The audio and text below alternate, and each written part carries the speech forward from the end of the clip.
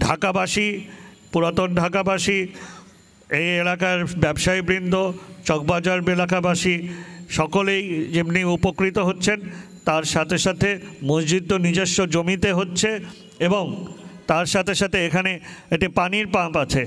সেই পানির পাম্পটাও কিন্তু আমরা সরাইনি। এটাও একটি বড় বিষয়।